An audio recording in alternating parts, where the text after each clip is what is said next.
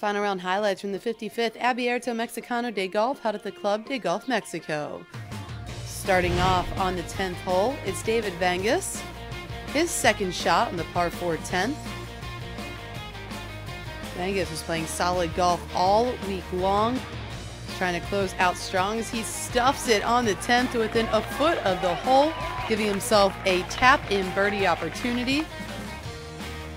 Vanegas converts the birdie, and then we head over to the 17th hole. It's a par 5. This is his third shot. Sitting at 5 under par, the top of the leaderboard. Nearly chips it in.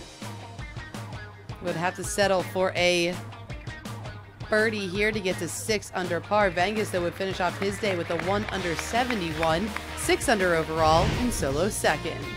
Over to the second hole now, it's Ted Purdy. His third shot.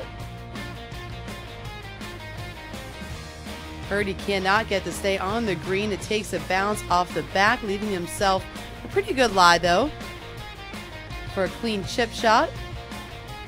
Purdy's fourth shot on the par 5. He gets it close, giving himself a good opportunity to save par there. Then we head over to the 18th. Purdy with the par and the outright win. He is your champion at the 55th Abierto Mexicano de Golf. Look at those crowds out there. Ted Purdy is your winner.